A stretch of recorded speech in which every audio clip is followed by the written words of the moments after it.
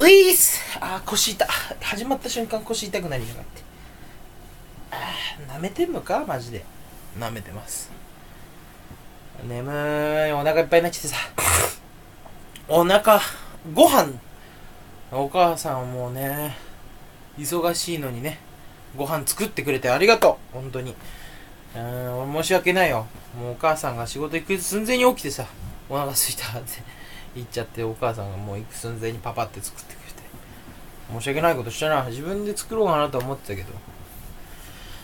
うんでもお腹すいたのは事実だしな。うんでも頼んでないけど作ってくれてありがとう。いや美味しかった。つけ麺うまかったわ。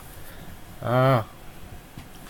ありがてえお母さん。んでそれで一回食ったのよ。つけ麺。でおにぎり2個もあった。めっちゃ多かった。で食ってお腹いっぱいってなってちょっと時間が経ったらすごいお腹空いてきて。今もちょっとお腹空いてるからお腹いっぱいなの。もうなんかさもう満腹中水がバグってんの。やっぱよく噛んで食べなきゃダメなんだねって言うけどさ噛んで食べたくないの俺。噛むの疲れるしさ。幸せが逃げてくんだよ飯は噛めば噛むほど。うん。でも幸せは手に入れられるけどどんどん太ってく。ね。えほら。あお汚ねえ脇が。この T シャツ嫌だな。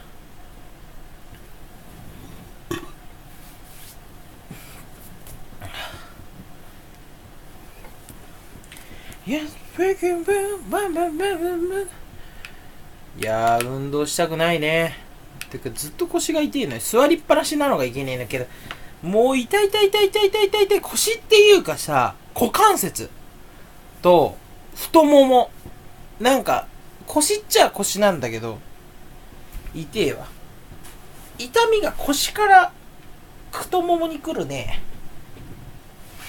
痛いね いい、助けて、助けてくれますかこんななっちゃうよ。もう。あーあ、腰痛い。もう、無重力をくれよ。負担をかけたくない体に一切。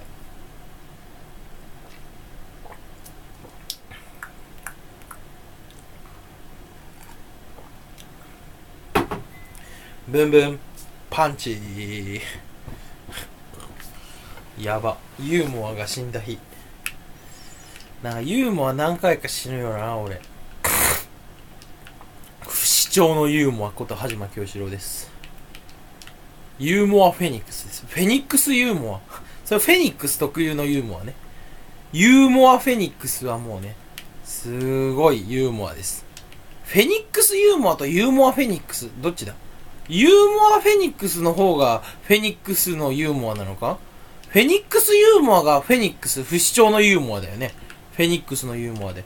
フェニックスかっこええかっこええな、フェニックスって。なんか、フェニックスかっこいいな。不死鳥。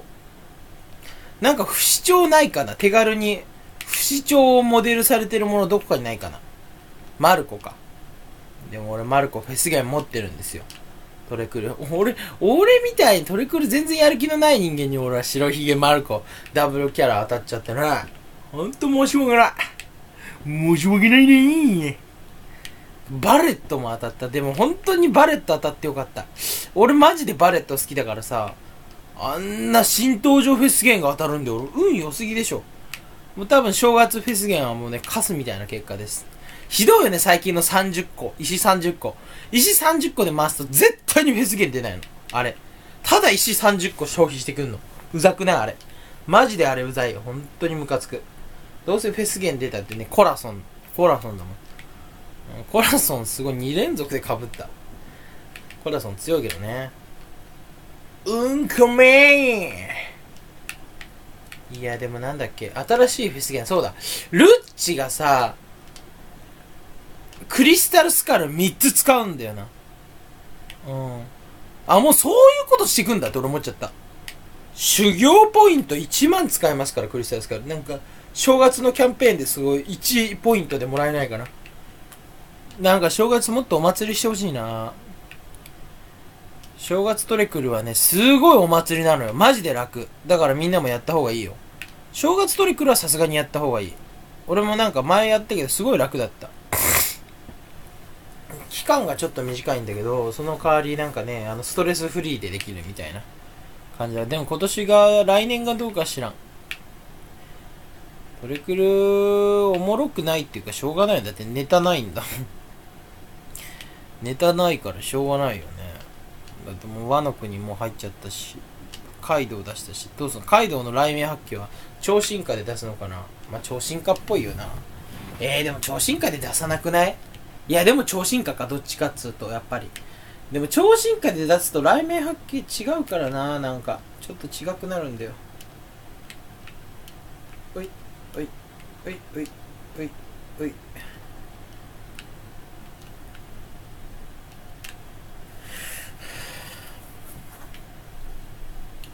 The namu with the only like you do 人型は人型で別のフェス弦も出してもいいかもしれない。でもそんなスパンでカイドウのフェス弦出していいの？フェス弦は、ナミとあいつですけどね。トレマエースじゃないな。新しいさ、ハロウィンエース普通に強くない？格闘射撃4倍で体力1.5倍で、状態以上回復もついてて、スロットも心地有利扱いだっけ強くない？めちゃ強い。体力1.5倍で火力4倍ってすごい時代だな。てかもう白ひげがね、もう昔の白ひげがダメだなって思ったけど、最近でも体力がめちゃくちゃ下がるともう最大火力4.5倍出ますからね。すごいです。最大火力4.5倍は結構すごい。まあでももう、ルフィローがいるから何ってなるけど、でもすごいよ、やっぱり。まあ、ルフィローも3ターン期限なんで、HP1 になる効果が持続すれば、すごい強いんじゃないかな。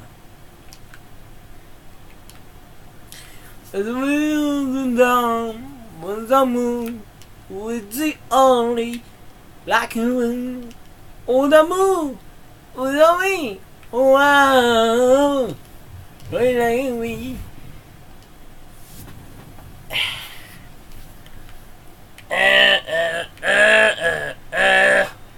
Baby Austin Baby Austin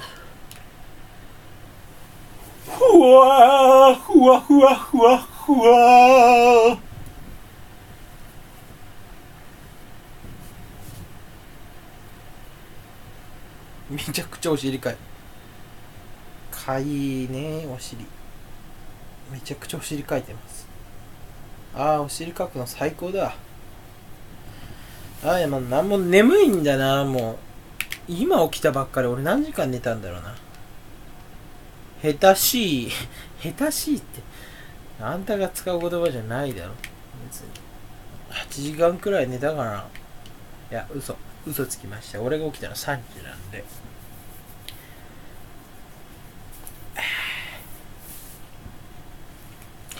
7時間くらいは寝たかな7、6、時間くらい。7時間かななんかもうユーモアが完全に死んでるから今日は絶対にやめた方がいいな。でもやっちゃいます。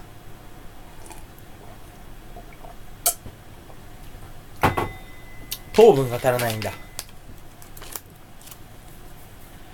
っとね、ラムネを取ります。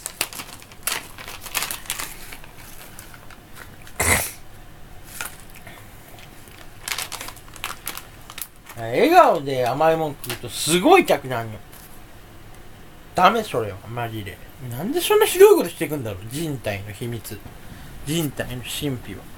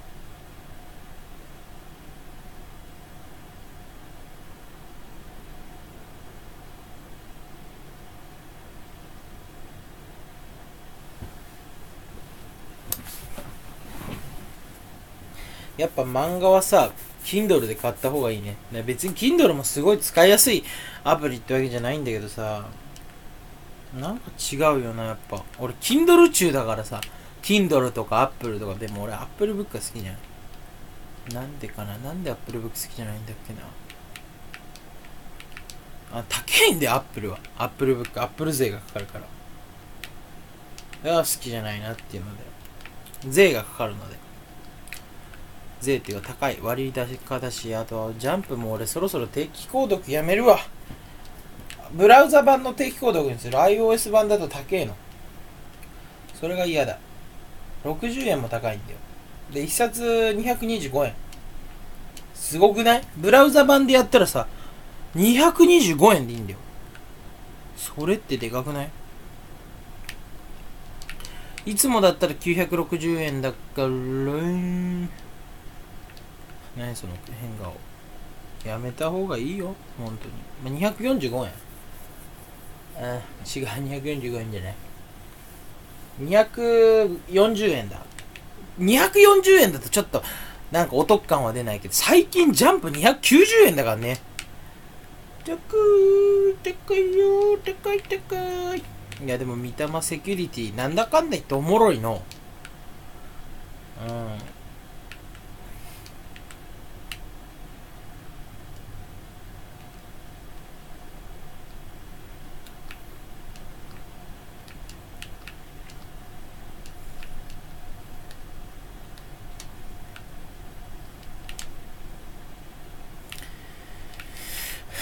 えー、でも夜桜とか誰かがやっぱやられんのかな？なんか。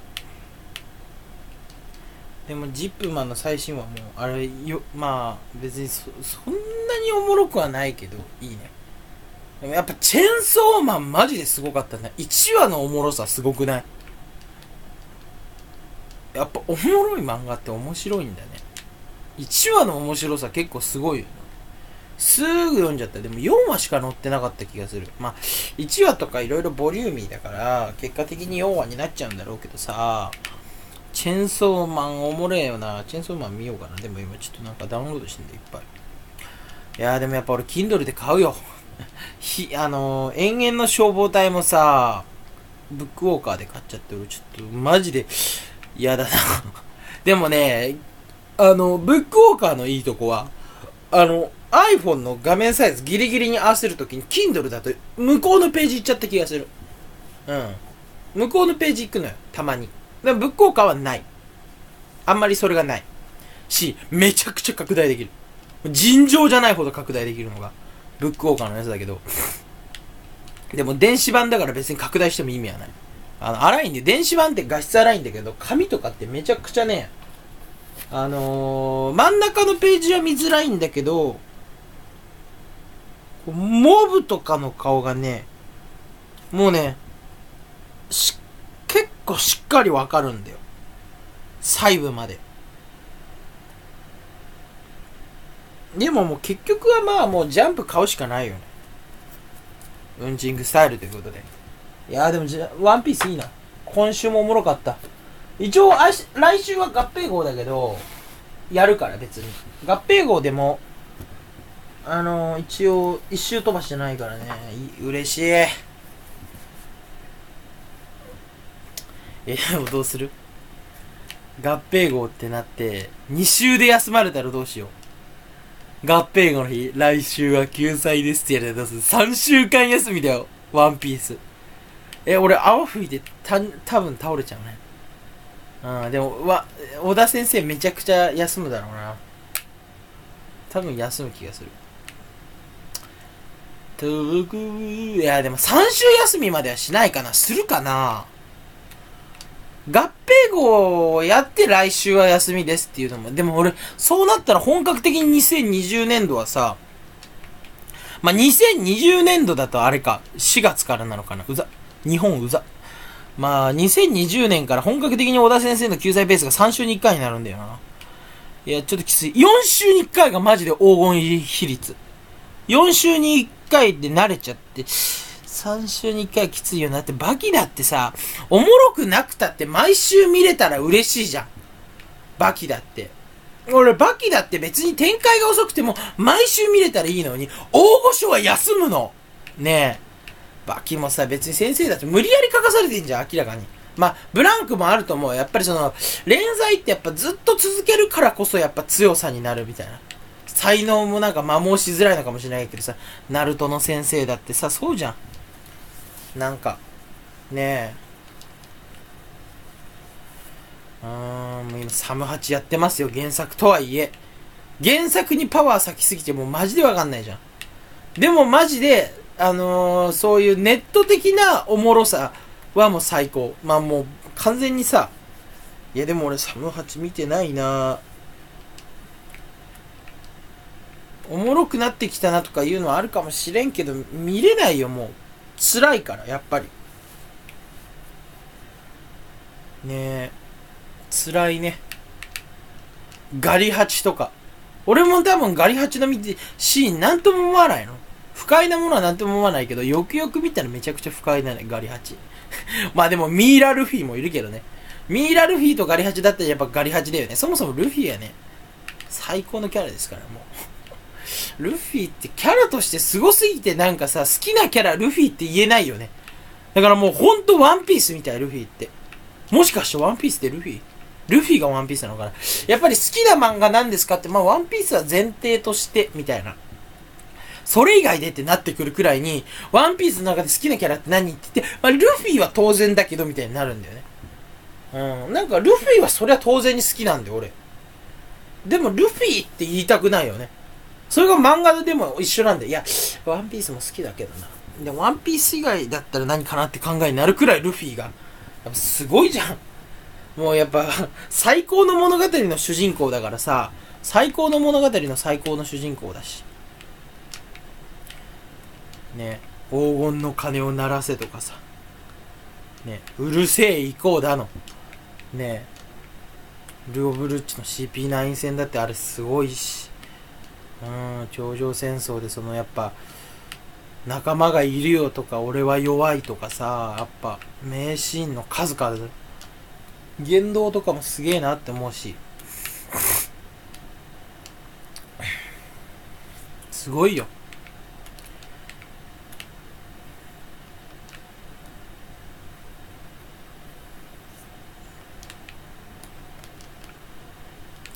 いや、でも今週、でも、白ひげの天敵って海軍なんだね。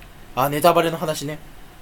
まあでも、あんま海軍を倒さないっていうのも、ただでさえこういう世の中だからこそ、やっぱりあんまりしたくないんだよそういう世界政府の法治的な海軍を潰したら他のどこかの国で悲しむ国が現れちゃうかもしれないからっていう理由で、あんまり海軍には手を出さないのもあるかもしれないね。やっぱりその、いくら、あ、でも、法治国家はやっぱ関係ないのかな？ねえ別に。どうなんだろうね。天井金を払ってない国って海軍は助けてくれるのかな？助けてくれないのかな？え、でもなんか助けてくれなさそうだよな。でも別に天井金払おうがあんま関係ないけどな。無法地帯と化すみたいなことは言ってたけど。でもあの海賊団のカルマとかいうなんかタコさ、結構悪いやつだね。うん。まあ、カルマって名前のだけあるわ。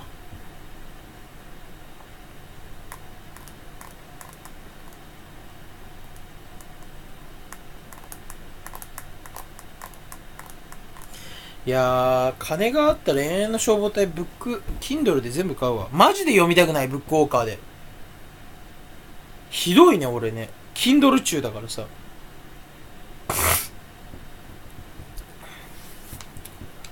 まあ別に今漫画読むのはいいや。永遠の消防隊はおもろいけどね。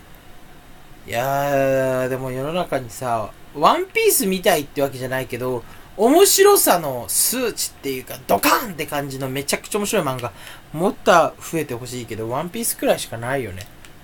バリオモロ漫画みたいなさ。まあ何すごいな。95巻やって、まだ面白い、面白さがうなぎ登りで、別にこれが全盛期じゃないっていう。やりすぎだよ、もう。漫画界の海賊王。でも海賊王よりすごいけどね。ぶっちゃけ。海賊王の一個上だよね、なんかもう凄さ的には。ぶっちゃけ、ナルトとかそのドラゴン、ドラゴンボールが、やっぱ漫画界の海賊王だと思うのよ。俺、一個上だと思うよ、ワンピースは。だって、一応、白ひげとロジャーも切磋琢磨したってね。表現的にはイエスはそうかもしれない。で、実力の差はそこまでないわけよ。でも、ドラゴンボールみたいな、やった凄さみたいな。じゃん。なんか、ワンピースはもう一個上だよな。海賊王の一個上。もうロックスだよね、もう。ねえ。マジで海賊王ロックな、もうすごすぎるね。ビンクスなんじゃないか、もう。ビンクスも、なんかすごい歌になってるくらい絶対怪しいよね。ビンクス、ロックス、シャンクスとかさ、クスがついてるのは何なのかなスク、クス。でもやっぱシャンクスは黒幕なのかな。でもやっぱシャンクスとは普通に海賊の戦いをするのかな。あれだけ言ってるくらいで。最後にやっぱ倒すのはシャンクスなのかな、まあ、黒ひげとかシャンクスとか結構、なんかシャン、黒ひげとかはもうその、黒ひげがどんな手を使っても勝つみたいな感じの、そういう悪い良さっていうか、海賊の卑怯的な良さを持った海賊との戦いになりそうだし、シャンクスはなんかもう正々堂々、海賊っぽくない海賊の戦い。まあ、男の戦いにはなりそうだよね。うん。男と男のぶつかり合いみたいな。でもどうなんだろうね。でもシャンクスの能力は何なのかな。ワープ能力で井戸井戸のみなんか、井戸に手をかけてるんですよ。あの、このお猿乗っけてるおじさんがね。うん、でもあれすごいよ。結構さ、初登場で全員のキャラデザインが出てるって何あれ？もしあれでやろうと思ったのって思ったけど、やっぱ1話のあの絵ってわざとなのかな？キャッチーに描いてんのかな？ちょっと。なんかね。で、どんどんかっこよくなってたから、もともと小田先生描こうと思ってたら描けたんじゃないのかな？でも、1話はちょっと丸みを帯びたキャッチーな感じで描いていくみたいなの、なのかな？でも明らかに小田先生のキャラデがガラって変わる時あるじゃん。あれな、何なんだろうね？すごいな。もともと本気を出してきたってだけなのかな？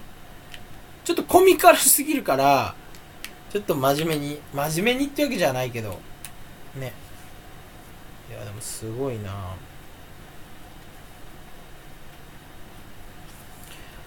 ワンピースすげえな。4億？6千万部でしょ。もうすぐでドラゴンボールの2倍いくよ。ドラゴンボールが2億5千万部。もう海外人気がすごいって言ってもね。うん。あ、でもいいよ。でも俺なる、サムハチが、なんか俺チェーンソーマンとか呪術改正を肉壁にするようなことがあったら俺絶対になると読まないので。うん。サムハチは当然もう、マジでガチアンチになっちゃうかもしれない俺。チェーンソーマンとか呪術廻戦とか、いろんな奴らをもし肉壁にするようなことがあったら、俺はもうサムハチを一生恨むことになるし。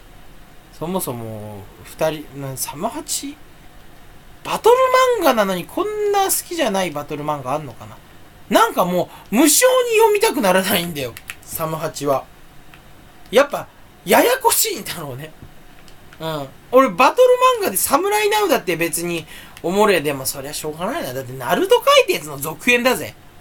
そりゃもう、ワンピース並みに面白いの期待しちゃうよ。うん、すんげえおもろいの期待しちゃって。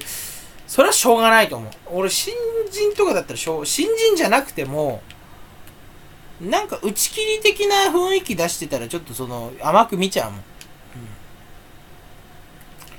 でもなんかニースクワットのなんか師匠みたいなちょっとかっこよかったけどね。王道な感じのごついキャラの戦い。うん。でも東京ニースクワットも打ち切りになった。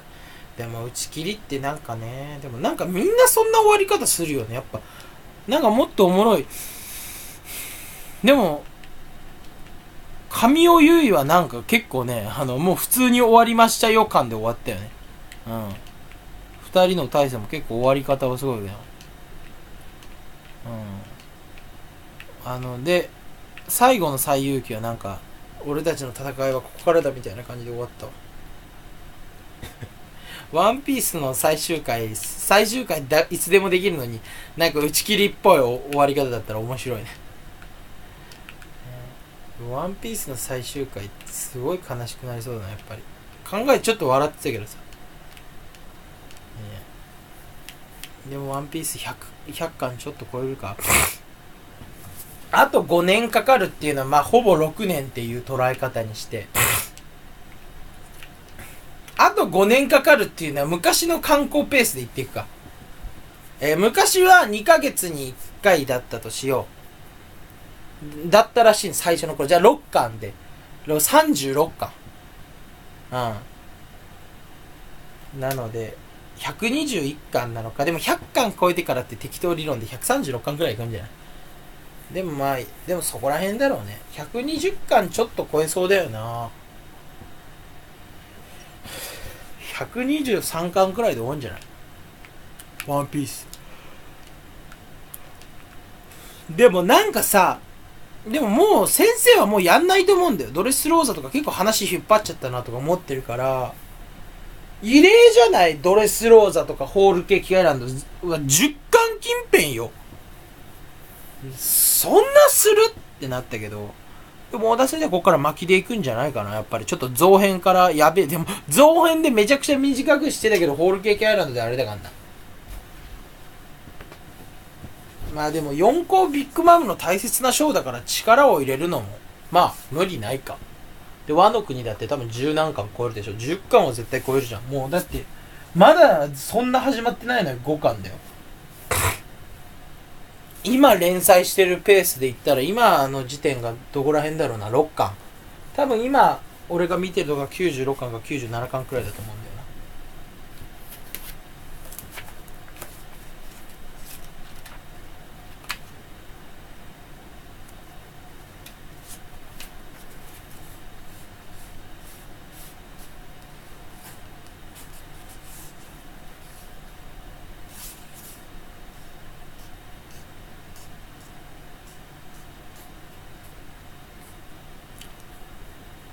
あちょうど今日俺が読んだ話で多分96巻の最後だ。で、来週から、う お、すごいえ、計算し尽くされてんの？気持ち悪い逆に。え、今週の話も、多分、俺、今週の話をもし単行本派で見てたら、俺は、もう、見たすぎて死んでしまう。うわーってなっちゃう、もう。やめてくれ うわーって。うん。なると思う。もし今週の話が96巻の最後だったら、もうとんでもないよ。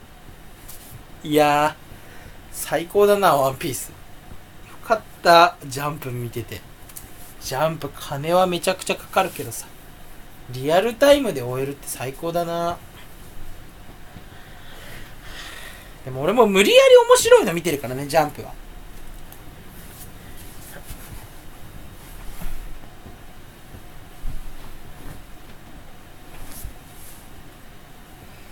寝るわ。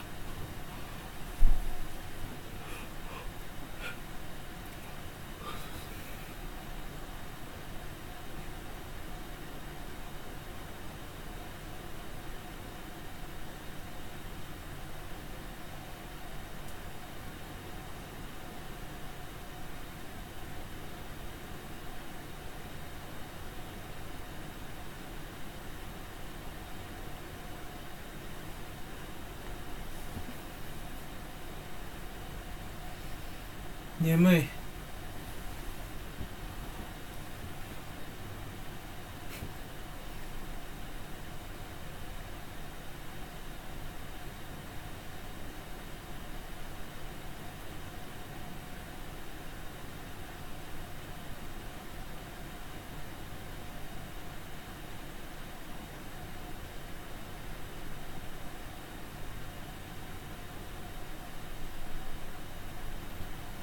ミスター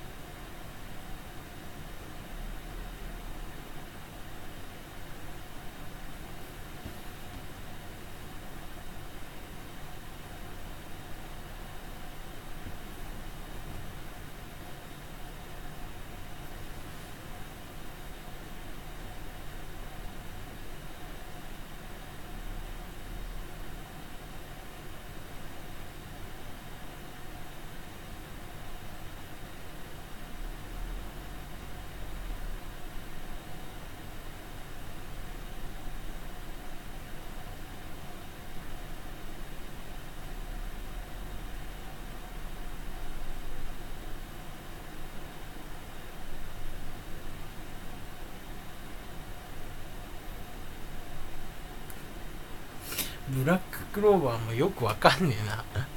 最新はおもろいけど。ちょっとおもろい。ね最新はおもろいわブラックの。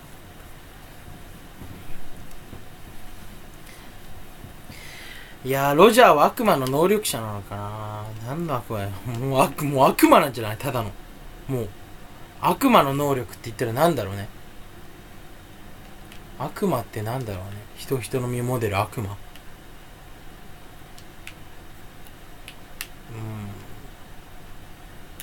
うん。ロジャーすごいなでも俺はいろんなロジャー好きだよ。最初のロジャーはめちゃくちゃだけどね。めちゃくちゃって言い方悪いけど。まあでもねいいな。いやでも 敗北者って流れは好きじゃないよ。断ち切らなきゃいけない。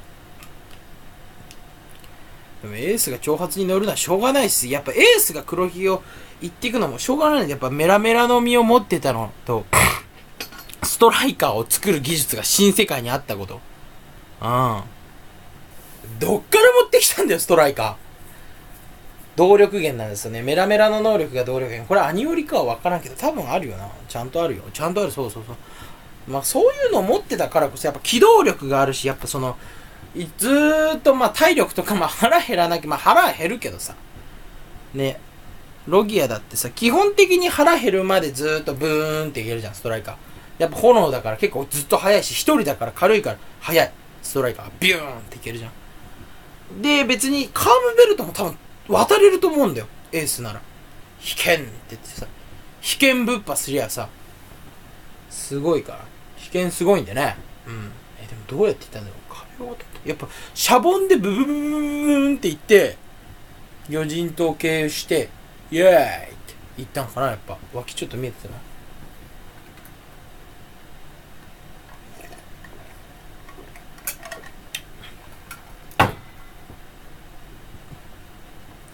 やっぱ白ひげが総動員すればよかったのかなああ、でも白ひげが総動員してもやばくない結局。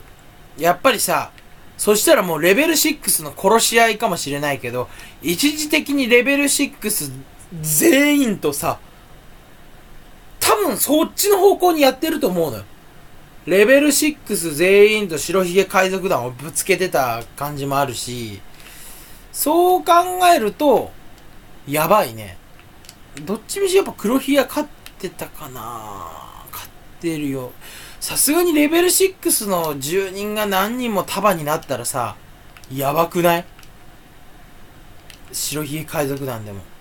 で、そこにマゼランをぶつけてとかやってたら、ああ、でも白ひげがその、インペルダウンに行く理由はないよね。だって別にエース捕まえられないとしたらエースが、あまあ、エースはメラメラの実を持ってても、ストライカーを持ってなかったとしたら、エースはやっぱ一人で行くことはできないのかな。でも船でも行きそうだな、エース。ストライカーだったからルフィは助かっただけで。えー、でもそれも悲惨だね。船で行ってルフィは捕まるわ。うん。でもそれはそれだとすごい悲しくなりそうだな。やっぱルフィが捕まってるとこにエースが到着して、で、ルフィを逃がすためにエースが捕まるみたいな構図になりそうだから余計ルフィにね、なんかすごい負荷かかりそうで大変だな。でもそしたらそれではそれで大変だな。麦わら一味全員がさ、頂上戦争に乗り込むことになるじゃん。うん、頂上戦争にね。まあでもいろいろいけないか。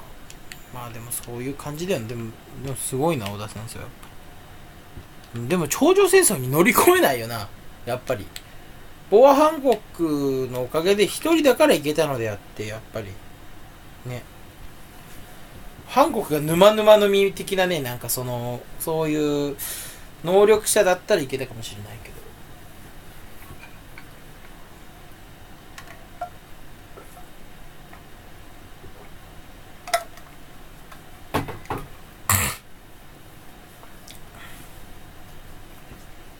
シャンクスは能力者なのかな？まあ別に能力者でもいいけど、今来てんのが一応ロギア、ゾーン、パラミシアだよね。できたら、能力なしってなんのかな？えー、でもパラミシアじゃない？ロギエア、パラミシア、パラミシア、ゾーン。なんですよ。パラミシア。バラミシアじゃないよね。パラミシアだよね。あれ、たまにわかんなくなるんだよな。えー、まあ、黒ひげがロギアを持っててパラミシア。でも、もしかしたらその体質的な云々だと、そもそももうゾーンとか、え、でも俺、ケルベロスじゃないんじゃないかな。逆にアシュラなんじゃない？うん。アシュラ説ない。アシュラはもう九刀流で出たけど。あんまアシュラ説って聞かないよ。顔が3つあるし、腕も6つあるんだから。どっちかっつうとアシュラだよね。骨もいっぱいあるよね、多分。黒ひげ海賊団の海賊機って。何なんだろうな、あの3つの顔。でもやっぱなんか3つの人格を持ってる。多重人格っていうキャラはさ、やっぱあんまり出てない。もしくはビッグマムが二重人格あのマザーカルメルが乗っ取ってるみたいな。確かにね、いろいろ面白いんですよ。やっぱその気を失ってると。だからマザーが乗っ取ってるっていうよりは、マザーとビッグマムの魂が半々。通常状態もマザーカルメルであり、ビッグマムであり、母はマママみたいなね。ママ母みたいな、は、はマンマみたいなのもさ、母とママをかけてるっていう笑い声でめちゃくちゃ面白いし、母って笑うのもあるけど、その母っていうのとママ。ママが自分自身で母がマザーカルメルみたいななんか、そういうのもありそうだよね。その、母親、母っていうかママっていうかなんか難しいね。そういうのが二つ混ざってるっていうのも。なんか深読み、ただの深読みだけどさだからマザーカルメルが乗っ取ってるっていう、そのソウルの能力から関してはできないことはないと思うんだよね。うん。そもそも死んじゃったら自分のソウルを操作できるみたいな。だからこのようにやろうと思えば残る、残り続けることができるみたいな。ソウルの思念体としてできる力で、ビッグマムの体を乗っ取った。で、能力もビッグマムは使えるようになったのかな。でもなんか性格の悪さみたいなのがそちっちゃい頃はないのマザーができてるようなのができたって言ってるだけで。なんで写真を回れるのがダメなのかな。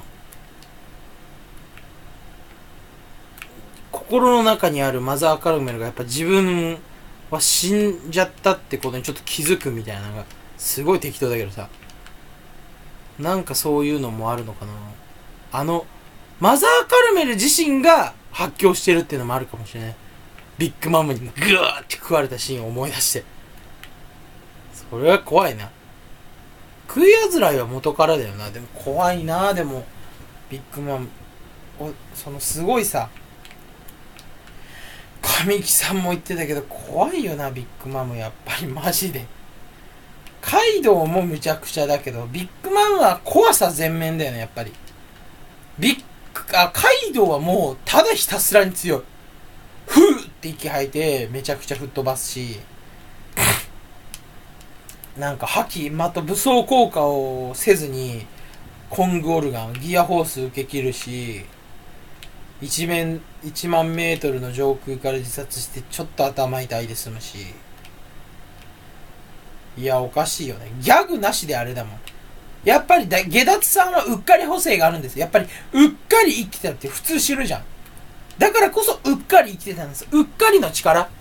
うっかりパワーが発動して生きてたんで。ね。う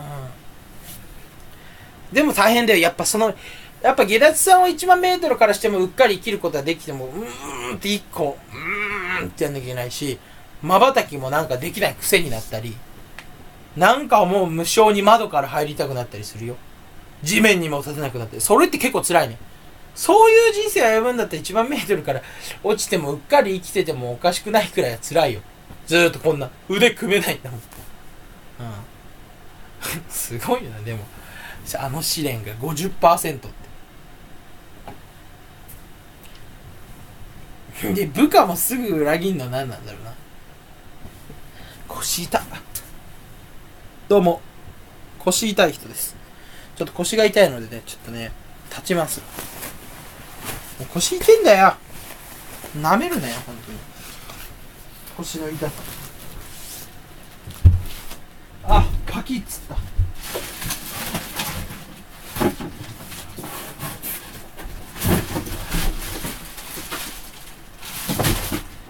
いた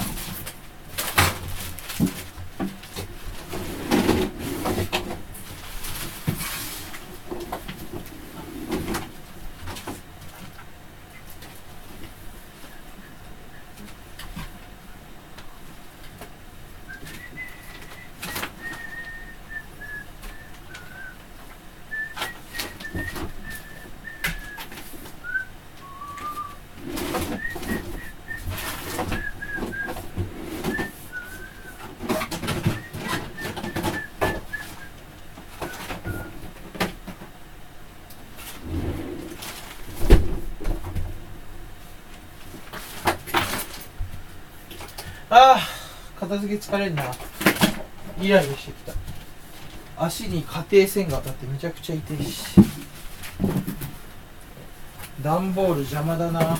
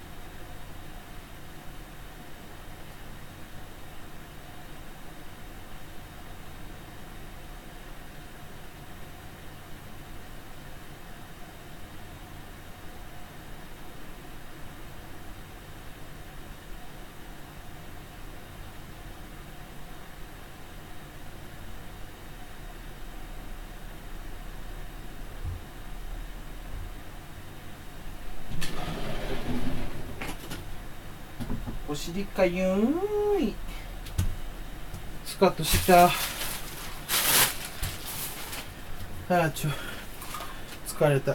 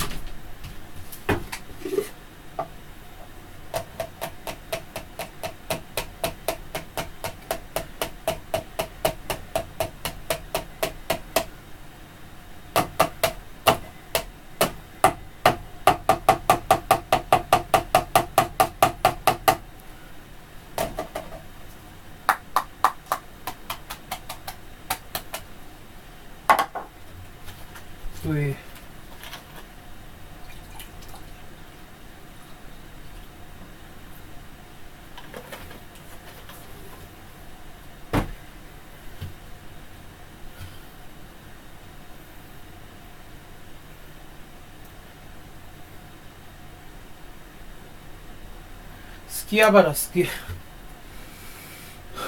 っぱ頭に酸素届いてないやっぱダメなんだって。あんまり回数やりすぎると脳に良くないんだって筋トレ。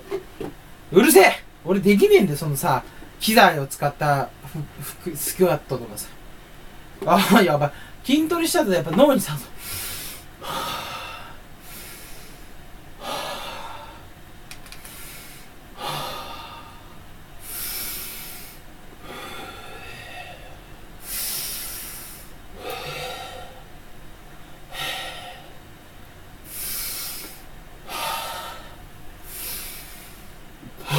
あ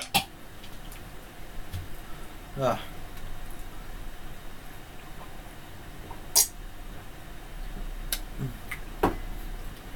あー。なんか脳に乳酸が脳がすごい疲れるらしいんだよ。もうすごい疲れてる。滑舌が。全然にダメ。よし糖を取ろう。まあでも糖は別に考えないで消費されないんだけ？ど別に運動したって別に糖は消費されないんだよ。なんかいやー運動大変だな。ちょっともう好きあらばすもうスクワットしまぐろちょっと最近のスハジマのスクワットの限界後で探るわ。20回やれたらいいけど10何回しかやってないだろうなさっきも。それと30回は超えたいな。40回行きたい。いやもう好きあれば50回行きたいよ。